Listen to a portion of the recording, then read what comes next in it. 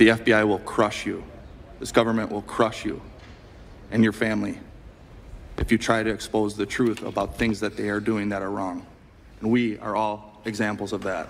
That is FBI Special Agent and whistleblower Garret O'Boyle detailing the retaliation from the FBI and others that he and two of his colleagues have received ever since they exposed these alleged allegations of politicization and the weaponization of the DOJ. They came forward, and he's now uh, facing increased backlash after testifying to Congress and calling on the House subcommittee on the weaponization of the federal government to fix the quote cancerous rot inside the FBI. And following his very passionate congressional testimony that you saw right here on Newsmax. A former colleague reached out in support to say other senior level agents do share O'Boyle's same concerns. All right, let's welcome in now FBI whistleblower Garret O'Boyle, also with us, constitutional law attorney Jesse Binnall.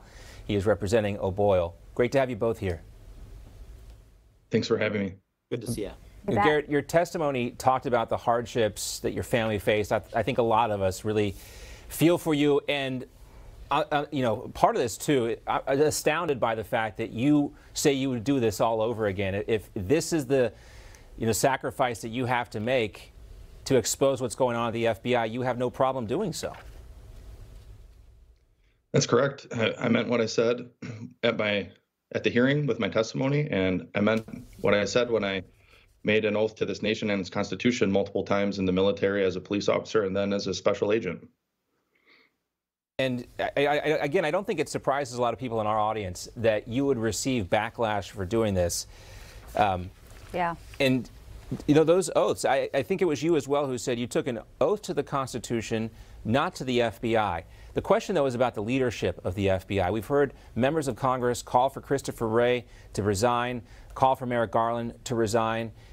How many people in the leadership of the FBI actually do need to go before you feel like they can start to make a change? from my perspective, I think it's the lion's share of the upper echelons of management in the FBI who need to go.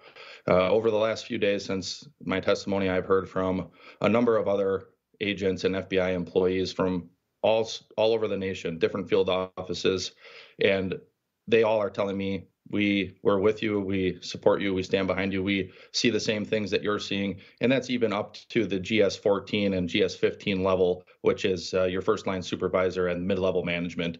So it's really that senior executive staff level and up uh, through the assistant director ranks up to director Wray himself. Uh, we need to clean house. I think it's the only way that the fbi hopefully someday can become a respected institution again but it certainly isn't that right now well, that's your hope and so many others. We know you'll continue to follow through with everything that you've done. I mean, but, you know, uh, Attorney Binnall, you're representing someone who many would see as a patriot. And yet we have people like Hillary Clinton just uh, walking around. Uh, she sits down with the Financial Times at the Weekend Festival in D.C. And, you know, they don't ask about the Durham report. Um, she's making headlines for this comment about Biden's age. For anyone, his age is an issue, and people have every right to consider it. Okay, FT is calling this a wide ranging interview, folks. You can go to their website, it's transcribed. You can listen to it on the China Putin, the threat of U.S. democracy. Some would say the threat of U.S. democracy.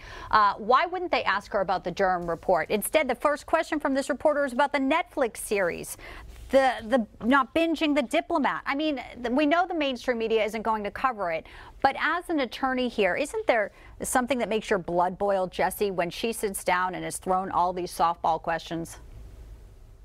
Oh, absolutely. The media, unfortunately, has absolutely no interest in getting to the uh, to the heart right now of uh, the misconduct that's been going on on the highest levels of our government, both at the FBI and the Department of Justice, um, stuff that that Garret has very bravely and, and, courageously pointed out, and that the Durham report um, detailed.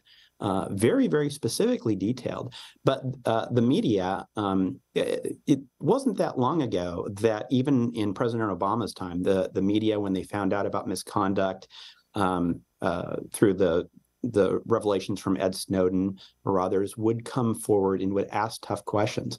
But at this point, they are so concerned about stopping Donald Trump. They're so concerned about supporting um, the, the the FBI and, and the DOJ went who went after Donald Trump that they will stop at uh, at nothing to cover up uh, people like Hillary Clinton who have very seriously abused our system, and they're never going to talk about people like Garret who have courageously stood up uh, for for accountability. Just about 30 seconds, Garret. I want to give you the final word when you see her and you see and you hear what your attorney just said, um, walking around just like there's going to be no consequences. How does that make you feel?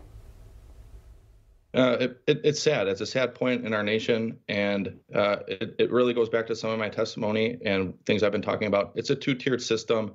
It's very clear to anyone who's paying attention.